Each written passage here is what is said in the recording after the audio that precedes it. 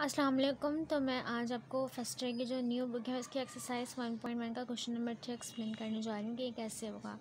तो इसमें आपको सबसे पहले क्या कहा गया है? सिंप्लीफाई द फॉलोइंग आपको कॉम्प्लेक्स नंबर्स दे दिए। उन्होंने कहा आप इसकी जो है वो इसको सिंप्लीफाई करें। आप देख सकते हैं इसके बीच में कोई साइन नहीं है और डॉट लगा हुआ है तो इसका मतलब कौन सा साइन होगा? मल्टीप्लाई का साइन होगा। तो हम इसको क्या करेंगे? Multiply then multiplication of complex numbers के लिए फॉर्मूला होता है।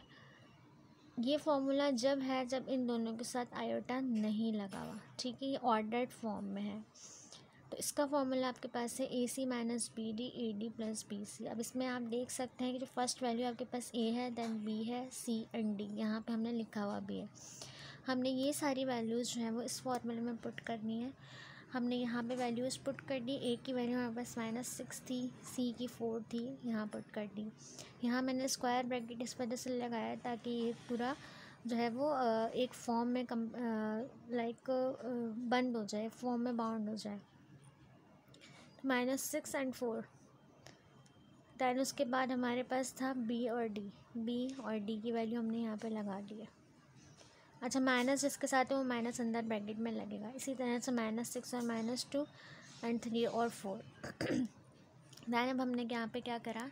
Six four za twenty four हो गया माइनस था, इस वजह से हमने माइनस लगा दिया। माइनस और ये माइनस प्लस हो गया थ्री टू ज़ा सिक्स होता है, यहाँ पर आ गया। देन यहाँ पे क्या किया? माइनस माइनस प्लस हो गया और six two za twelve three four za twelve as it is आ अब आप देख लीजिए यहाँ पर माइनस ट्वेंटी फोर और प्लस माइनस एटीन हो जाते हैं। हमारे पास वो twelve plus twelve twenty four आ जाते हैं। ये हमारे पास एक सिंप्लीफाई फॉर्म आ गई है इस क्वेश्चन की। अब आ जाते हैं हम सेकंड क्वेश्चन पर। तो ये देख लीजिए हमारे पास सेकंड क्वेश्चन क्या है? सेकंड क्वेश्चन में हमने क्या करना है? इन दोनों के बीच में हमारे पास कौन सा साइन है? डिवीज़न का साइन है। तो इसके लिए अब हमने क्या करना है?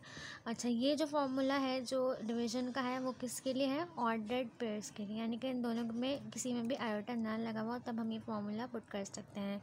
तो इसका फॉर्मूला हमारे पास क्या है? A C plus B D upon C square plus D square, B C minus A D upon C square plus D square. अब यहाँ पे आप देख सकते हैं हमारे पास ए, बी, सी, डी, यहाँ हम लिख भी चुके हैं।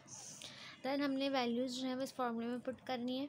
माइनस जहाँ तक वो साथ ही आ जाएगा, माइनस बीच में कॉमा और फिर इस तरह से हमने इसको सारी वैल्यूज़ पुट करने के बाद हम ये आंसर लेकर आए अब यहाँ पे आप देख लीजिए A two za sixteen minus दस वजह से एज इट इज़ आ गया। प्लस माइनस माइनस हो गया, four two za eight as it is आ गया। अब यहाँ देखिए इसके अंदर का जो माइनस था वो कैंसिल हो गया, क्यों? क्योंकि हमारे पास जो पावर है वो इवन है। टू टू ज़ा फोर, टू टू ज़ा फोर एज इट इज़ आ गया। इसी तरह से माइनस माइनस प्लस और एट टू ज़ा सिक्सटीन एज इट इज़ आ गया। टू टू ज़ा फोर, टू टू ज़ा four as it is.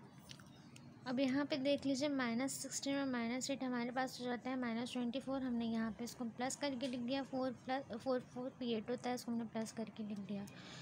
Eight में से सिक्सटीन गया तो हमारे पास माइनस एट बचा। फोर फोर एट हो गया। अब देख लीजिए, दोनों एक ही टेबल में आ रहे हो तो हम इन दोनों को कैंसिल कर लेंगे तो हमारे पास फाइनल आंसर आ जाएगा माइनस थ्री और माइनस वन